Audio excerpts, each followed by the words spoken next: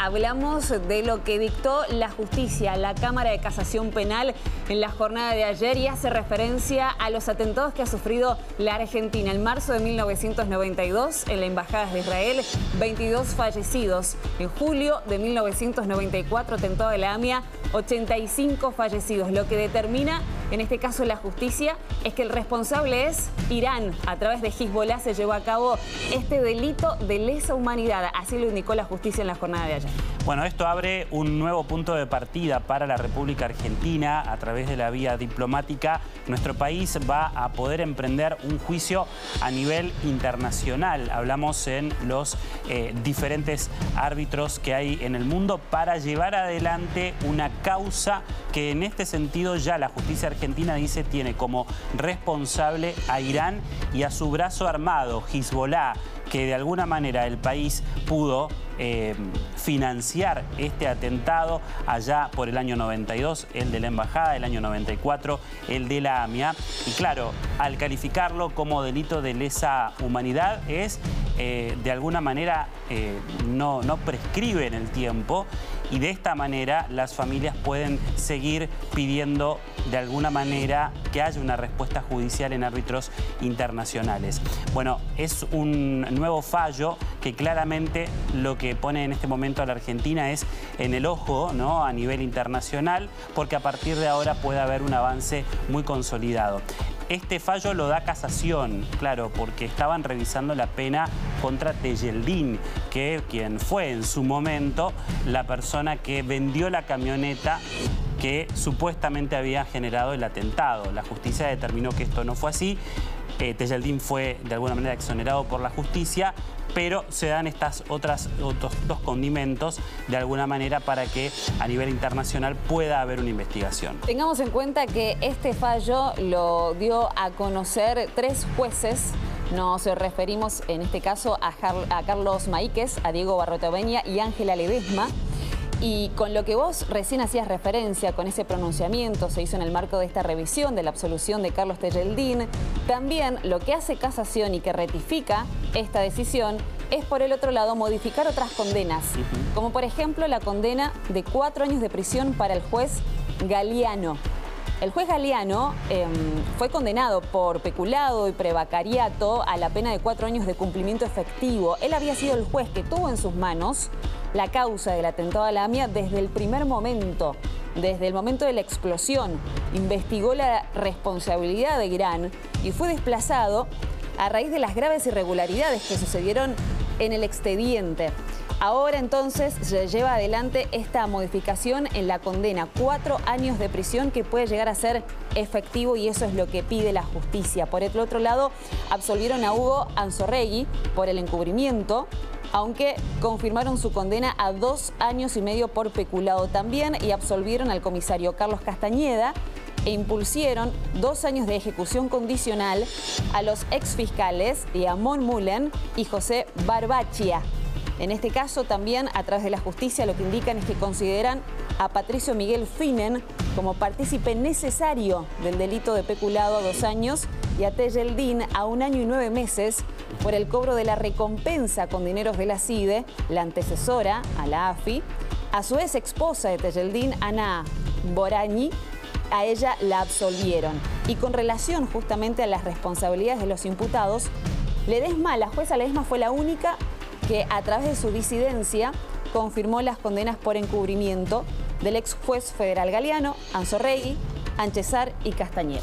Y además, este dato es muy importante porque nunca se había mencionado, quizás a, nivel judicial o, o, público, es que en sus fallos los jueces determinaron que la Argentina en ese momento, entre el año 92 94, nuestro país quedó en la mira por la decisión unilateral del gobierno, en ese momento de Carlos Menem, de cancelar tres contratos de provisión de material y de tecnología nuclear acordados con Teherán. En ese momento el gobierno argentino cancela estos contratos y la respuesta por parte del régimen iraní fue, según lo que dice la justicia, estos dos atentados que claramente ya pasaron 30 años, se van a cumplir 30 años ahora el de la AMIA, siguen sin sus responsables en este sentido eh, bajo prisión o en un banquillo, eh, investigados. Hay alertas rojas de Interpol de eh, siete personas en este momento. Estamos hablando de iraníes y libaneses. Y claro, eh, tienen la protección por parte del régimen de Irán, de allí no pueden salir.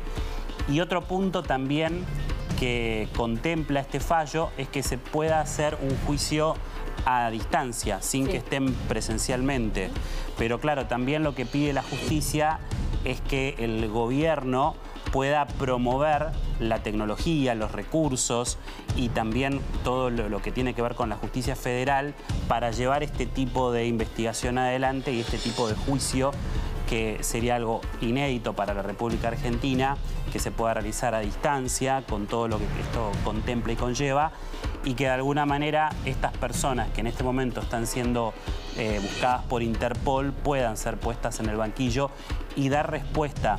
Hablamos ya de 30 años de este atentado de la AMIA que se va a cumplir el próximo mes de julio y también pensábamos en aquellos chicos que nacieron después de este atentado, con familiares que murieron, que hoy tienen 20, 25, 30 años y que también están reclamando justicia para saber qué pasó con sus familiares.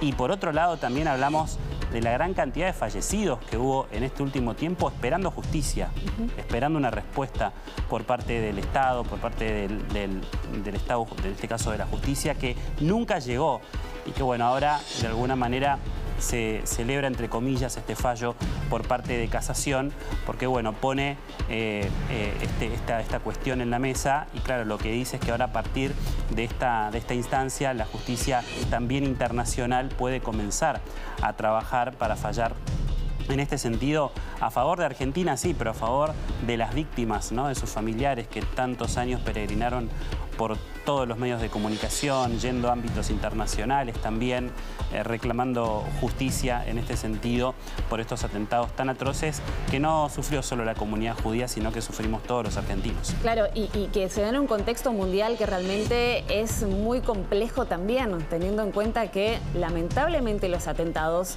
no cesan.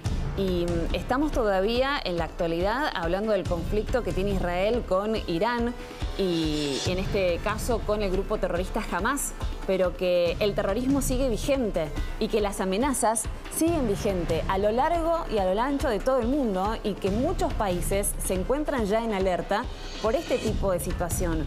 Un atentado en la Embajada de Israel en nuestro país en 1992, en, la embajada, en este caso en la Mutual AMIA en 1994, que han pasado los años y casi 30 años después nos encontramos con este fallo en la justicia y que en el medio, además de pasar muchísimos colores políticos en el Ejecutivo y sobre todo también en el Ejecutivo y además eh, judicialmente hablando con, las responsabilidades que conlleva toda esta situación, ha tenido muchas aristas eh, todo lo que tiene que ver con la causa de terrorismo en la Argentina, porque se hicieron otras causas también, como por ejemplo la de memorándum, como por ejemplo todo lo que tiene que ver con eh, el llevar adelante las pruebas que no se han determinado y que se han ocultado. Entonces, después de 30 años, podemos decir, se está haciendo justicia.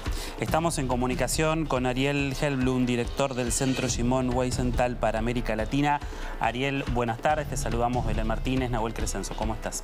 Hola, ¿cómo están? ¿Qué dicen? Buenas Muy bien, gracias por esta comunicación. ¿Cuál es tu mirada a partir de este fallo de la justicia? Eh, mirá, fue un día donde nos dio para trabajar bastante y leer mucho. Eh, digamos, dos fallos en el mismo día, más la resolución de casas. Ahí se cortó la eh, llamada, ahí está. Ahí te escuchamos. Sí. Hola. Sí, sí, perfecto. Bien. Eh, en principio, lo, más importante es el tema de donde casación, el digamos, el más alto tribunal en temas criminales del país, eh, llega a analizar eh, y, a resolver algo que, bueno, que la verdad hace tiempo sabíamos, que era que este, esto se planificó se, y, se se planificó, se mandó y se financió desde Irán y que luego el, tiene fue ejecutado por Hezbollah, no solo ese, sino el de la embajada. Y que hasta el día de hoy va a ser muy difícil si no cambiamos determinadas normas eh, llegar a eventualmente quién es la persona, porque en definitiva cuando uno está hablando de, de un crimen, vos necesitas una persona física, este, a quien digas esta fue la persona que hizo tal cosa o no hizo tal otra, porque si no es una declamación. Eh, el tema es que a lo largo de 30 años o, más tiempo desde que nosotros venimos hablando de este tema, eh, Irán se negó a, digamos, a colaborar con la justicia argentina y todos los intentos de pedidos, digamos de alguna manera, de colaboración, causa fueron rechazados. Y no solo eso, sino que aquellas personas que, sobre las que existía algún tipo de, de medida internacional de captura eh, a países donde este, les eran les eran bien recibidos, este, los recibían igual a pesar del pedido internacional de captura. Con lo cual, esos otros países también estaban este, burlándose de la justicia argentina. Claro.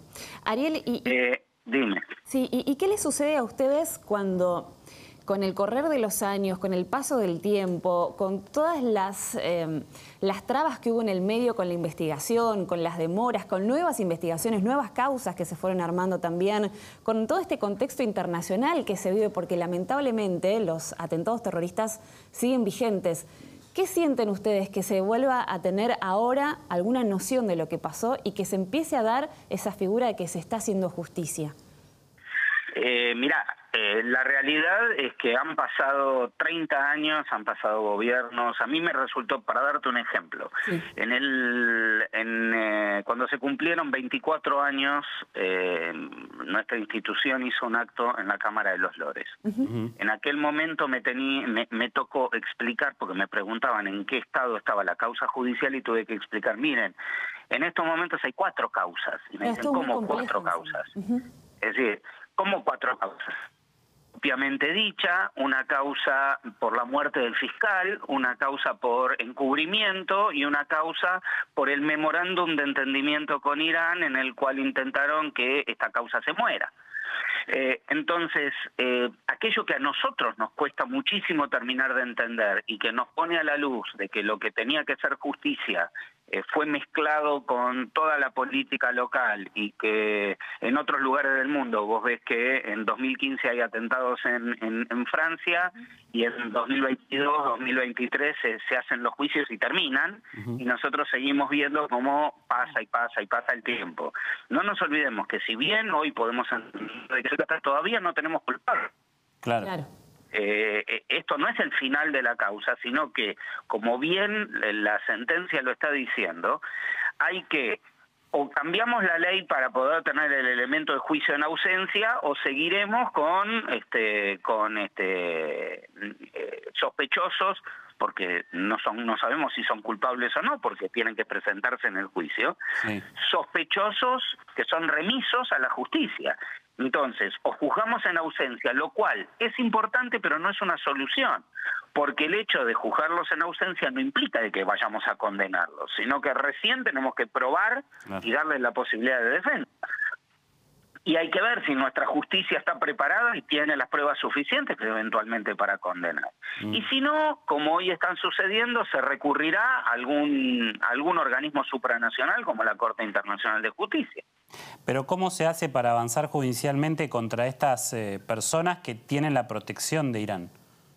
Bueno, eso es lo que estamos diciendo, es decir, vos no podés cuando frente a una persona que no comparece y no tenés elementos en la justicia, no solo en esto, sino en cualquier crimen. La diferencia es que la sentencia este, entiende de que estamos frente a este, hechos de, este, crímenes contra, de, exactamente, crímenes de lesa humanidad, lo que hace que esto se transforma en algo imprescriptible. Claro. Entonces nos da la posibilidad de que, bueno, de que el paso del tiempo, así como nuestra institución buscó a los nazis y en algún momento eh, se los juzgó y los que y los que no vivieron escondidos hasta pasar los 100 años, este, y eso no es una vida digna, eh, bueno, es lo que se habrán buscado por no haber comparecido a la justicia. Intentaremos lo mismo. Claro. Ariel, eh, y en este contexto internacional que estamos atravesando, ¿no? Eh, en este conflicto entre Israel y el grupo terrorista Hamas eh, de Irán, em, más todas las respuestas que están llevando adelante los distintos mandatarios internacionales, porque hay amenazas, porque hay temor, ¿puede ser más factible que se llegue a esa verdad, a dar esos resultados, o puede ser más dificultosa esta situación geopolítica que se está dando? Mira, yo no creo que esta situación geopolítica este, tenga que ver con, la modificación de cómo se ve el caso, porque cuando hubo buenas relaciones o cuando se intentaron tener buenas relaciones con Irán, tampoco, tampoco colaboraron con la causa. Es decir, el mejor momento de relación posterior a los atentados, que fue el intento de, poder este, cristalizar el memorándum de entendimiento, también tenían la idea de que ese memorándum era para matar la causa y no para que se haga justicia. Con lo cual este, no ha cambiado, no ha, no ha cambiado o empeorado esa situación respecto de nuestro reclamo. Yo creo que se ríen de nuestro reclamo y mientras sigan con lo mismo no nos olvidemos que uno de los este, que uno de los acusados eh, o uno de los sospechosos que estamos teniendo es un uno de los vicepresidentes de Irán que, que ya tenía la, la, captura internacional y fue un par de meses a Qatar, un par de meses antes del mundial a Qatar. Y cuando se le pidió por parte nuestra, no, señores, este, entreguen a este hombre, nos miraron como diciendo de qué, de qué están hablando. Estuvo de visita en Bolivia, estuvo en la asunción de el, eh, en la asunción de, la reasunción de Ortega como presidente de Nicaragua y este y estaba nuestro embajador presente y no abrió ni la boca. Ariel, gracias por esta comunicación con nosotros. ¿eh? por, eh, les, que, les, les, tomaría un segundito más, si es que me lo permiten, para hablar de la otra resolución. Por favor. Eh, no deja de ser también importante el hecho de que el máximo tribunal criminal de, la Argentina haya adoptado la definición de antisemitismo. Mm. Esta definición que no la hizo una institución judía, sino un organismo internacional del que Argentina orgullosamente es parte desde 2002, nos pone en forma objetiva saber cuándo estamos frente a una situación de antisemitismo y cuándo no. Y esto en complemento con la ley antidiscriminatoria permite hoy tener que juzgar hechos que hasta ahora no se podían juzgar. Con lo cual podemos afirmar hoy que este, cuando un delito es antisemita no es gratis. Bien, bienvenido ese fallo entonces también, como vos lo estás recalcando. ¿eh? Muchas gracias, Ariel. Les agradezco a ustedes por la comunicación. Un abrazo grande. Eh, Ariel Helmum, director del Centro Simón Weissensal para América Latina, respecto a los eh, fallos conocidos el día de ayer por casación, teniendo en cuenta esta nueva disposición para los atentados de AMIA y también de la Embajada de Israel. Cuando ayer se da a conocer esta información por parte de la justicia, la DAIA también se manifestó sobre este tema, por supuesto eh, a favor de este fallo. Ya estamos en comunicación con Jorge Noblovitz, presidente de la DAIA. Jorge, buenas tardes. Nahuel Crescenzo de Martínez la saluda. Gracias por esta comunicación en la voz de la ciudad. Gracias por llamar. Bien, eh, se manifestaron a favor después de tantos años que la Cámara de Casación Penal dé a conocer este fallo, pero ¿qué sintieron? ¿Cuál es eh, su expresión frente a esta noticia por parte de la justicia? Dar certeza a una una cuestión judicial siempre eh, ilumina la verdad, ayuda a las víctimas eh, y permite saber qué pasó y qué se puede hacer, porque esta es una sentencia que, eh, si bien determina que Irán es responsable, permite y habilita otras cuestiones, como por ejemplo reclamarle Irán por parte de las víctimas, eh, reparaciones o que el Estado argentino acuse Irán en, organizaciones como Naciones Unidas. Así que me parece sumamente importante reconocer el derecho a la verdad de las víctimas, eh, reconocer, por ejemplo, cómo pues, se puede salir adelante, mencionar la cuestión del juicio en ausencia y sobre todo un punto que creo que hasta ahora no se ha destacado, que es eh, indicar la digitalización de esa causa, porque también en el fallo se dice que si ponemos en eh, los expedientes judiciales de esta causa en fila, ocuparían 20 cuadras de algún barrio de la República Argentina. No es un tema menor. No, no, por supuesto. Jorge, eh, a partir de ahora se puede iniciar una, una denuncia, una acción legal frente a la Corte Internacional. Bueno, hay cuestiones procesales que son muy eh, precisas. La, la, Corte Penal Internacional del año 98, este es un episodio del año 92 en el caso de la embajada y en el 94 en el caso del edificio de AMIA y DAIA y creo que entonces hay que ver si puede ser aplicada a hechos anteriores.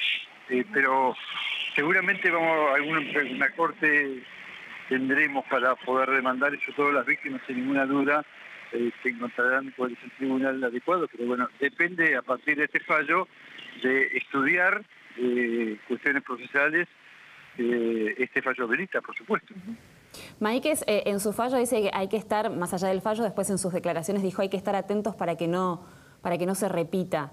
Em, ¿Estamos atravesando un ámbito a nivel social que se puede llegar a repetir o estamos lejos de eso?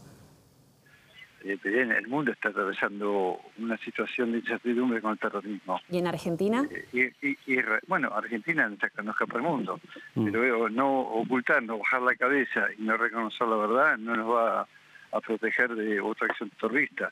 En el Mar Rojo, los hutíes en Yemen, desde Yemen, están todo el día bombardeando a barcos que solamente contienen eh, mercancía para todos los eh, países del Medio Oriente. Así que el terrorismo en ese punto es democrático, este, no reconoce ningún tipo de limitación. Eh, puede ser Argentina, puede ser Uruguay, puede ser como...